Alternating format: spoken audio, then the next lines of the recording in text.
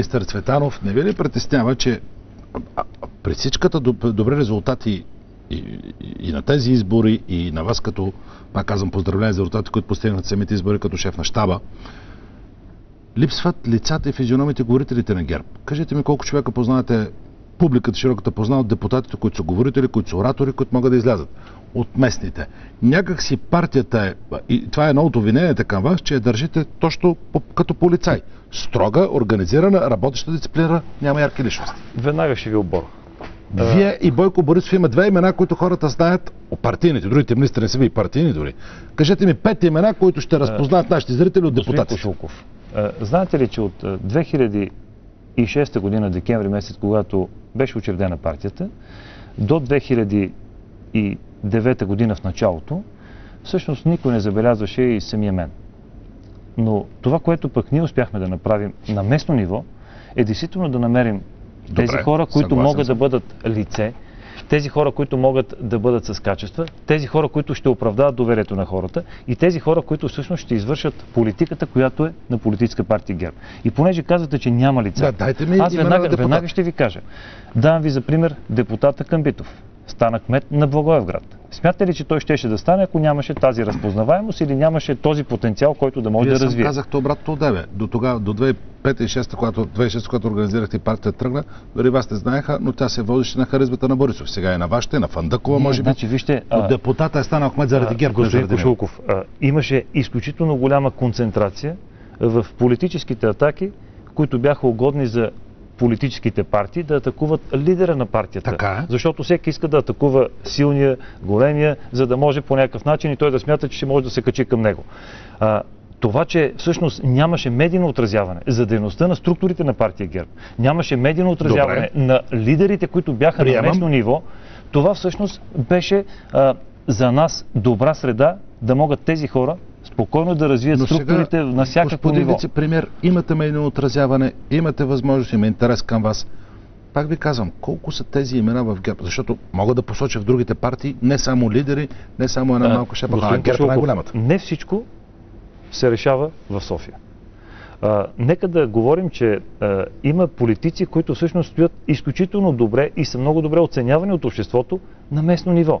И аз искам да продължа с това, което всъщност започнах преди малко. Добре. Давам ви за пример господин Камбитов, давам за пример господин Економов на Банско, давам ви за пример Живко Тодоров на Стара Загора. Едно изключително а, сериозно, честно, а, мотивирано момче, което аз съм убеден, че Стара Загора спечели много с неговият избор.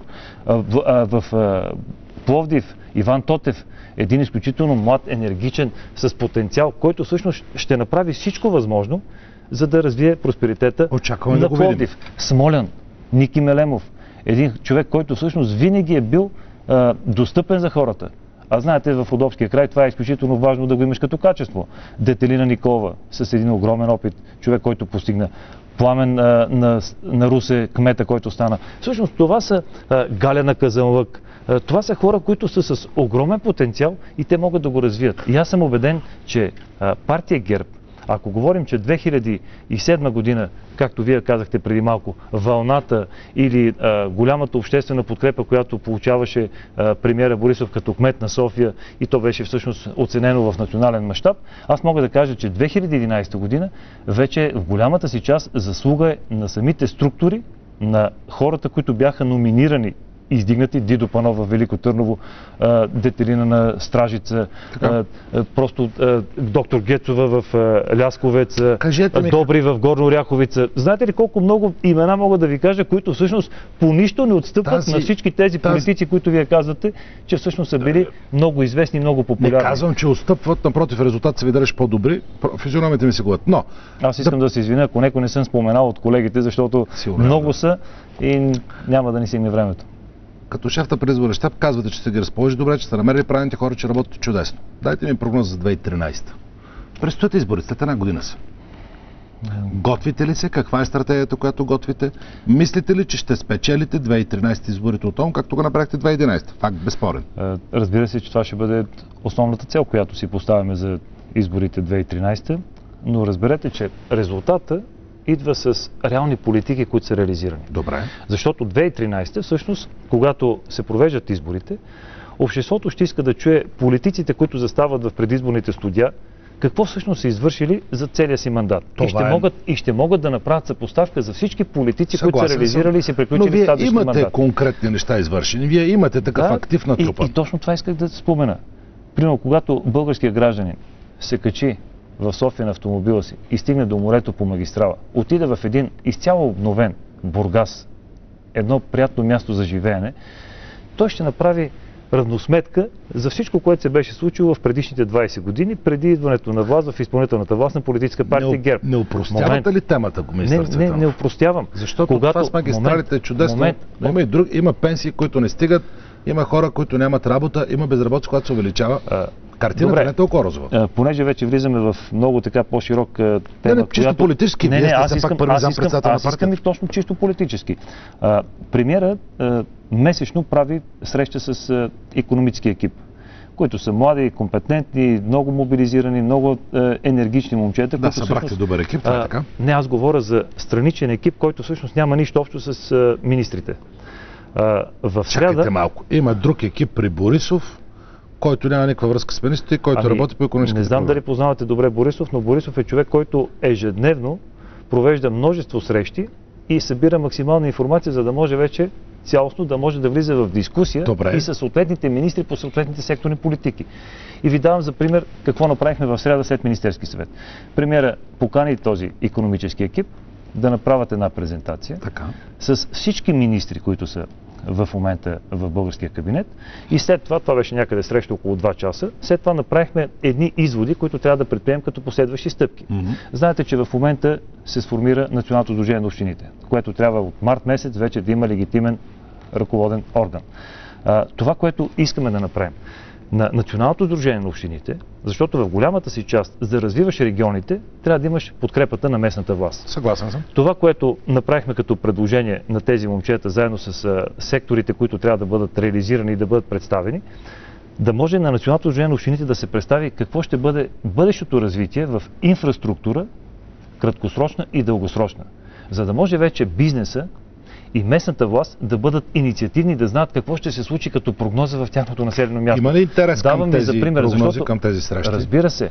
А, има интерес, защото в момента, аз ви давам за пример, Лясковец, Велико Търново, Горно Оряховица. Вие знаете, че това са населени места, които в общи линии са с много а, малка отдалеченост. Те са по Да, един да. километър. Да, да. Но там може да бъде изграден един изключително важен логистичен център, който да бъде като индустриална зона.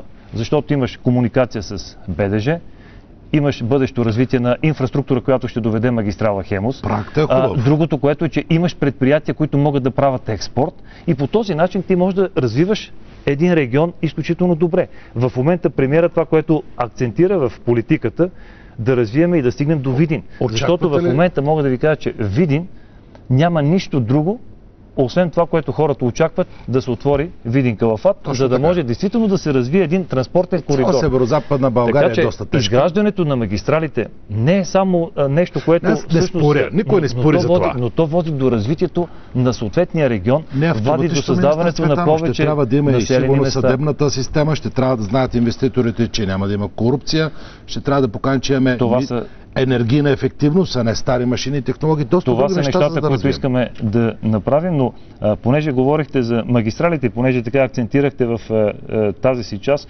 аз искам да ви кажа, че България се намира на страхотно, уникално геостратегическо място. Ние имаме пет транспортни коридора. Когато бъдат развити, ти ще можеш тогава да дадеш възможността от Гърция, от Турция, Съгласен от Румъния, от Сърбия и целият този транзитен коридор, Надявам който се, че минава през точно така. територията на нашата страна и заминава за Азия или обратно към Европа. Министър Цветанов, вие сте бивш лекоатлет, нали така? Точно така. Сега, тук след малко на нас ще дойдат а, двама мои колеги, ко-водещи. Ще ви помоля да останете. Те имат няколко въпроса към вас, като спортист, като човек. Между другото, как поддържате спортната форма в момента? Спортувате ли нещо? Събота и неделя, когато намеря време, излизам да тичам, но пък Само тичане?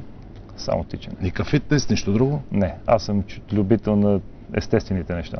Е, примерно правя набирания, но това е нещо, което не е свързано с необходими допълнителни условия, за да отиваш на фитнес. Не. А, имаме уникална природа. Имаме уникални дадености, които могат да позволяват за развитието на масовия спорт и това е част от политиката на местната власт, за да можем да развием масовия спорт, защото от масовия спорт могат да се родят добри лекоатлети, добри спортисти. Никакъв спор. И трябва да ви кажа, че в а, провинция Хесен в Германия, когато бях на посещение, а, там се води Министерство на вътрешните работи и спорта. И тогава го попитах министъра, викам, добре. А защо за- спорта, а защо, вътрешните?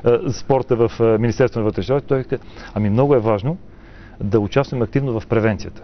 Защото когато развиваш спорта, когато развиваш тези умения, когато дадеш възможност тази енергия да отива на спортните терени, тогава вече всъщност и полицията ще бъде по-спокойна, защото ще имаш Така казано има логика. Така казано. Разбира се. Не знаеш, че има такова Министерство на вътрешната работа и спорта. Да, точно така. Така е в провинция Хесен. Ще ви питам още по тази тема след минутки.